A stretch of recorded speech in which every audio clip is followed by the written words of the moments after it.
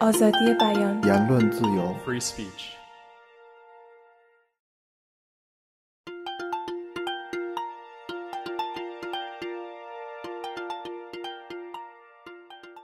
I think it would be wonderful if bad speech could always be fought with good speech.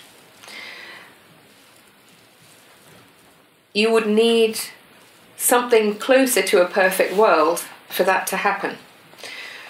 In practice, bad speech can't always be fought with good speech precisely because of the issue about silencing that I already mentioned. So, if a speaker is silenced by the bad speech, then it's harder for them to answer back.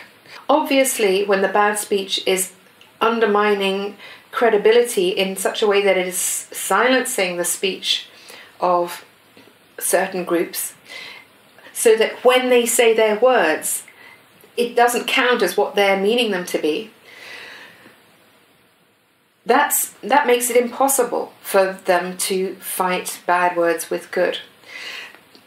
There are actually much more mundane reasons. So th- that's re- that reason I find philosophically interesting, and I find it genuinely important. But in but of course, I mustn't get so obsessed with philosophy that I don't notice the much more straightforward reasons why it's hard to fight bad speech with good. The very straightforward reasons are the targets of the hate speech when it's propaganda are very often not part of the conversation. Maybe they don't speak the same language. Maybe they um, are not. Maybe they're not reading the same newspapers or on the same blogs.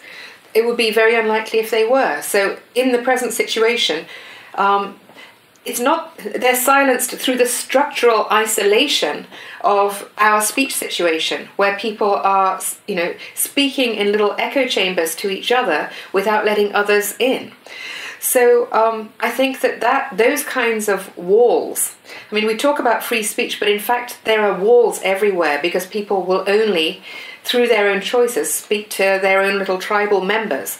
And that really exacerbates the, uh, the tendency for bad speech to have its bad effects, and in fact, to be welcomed for its bad effects because it then builds those walls and those feelings of belonging and the tribalism even more. And to me, that that um, sort of tribal feature of our speech situation is one that I myself have completely neglected in my own philosophical work. But I think in practice, it's at least as important.